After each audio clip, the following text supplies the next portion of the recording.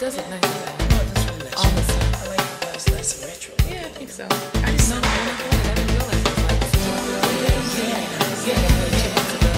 I didn't look. I looked. I just realized it was a little long. That's what I said. I was thinking about like this. When I said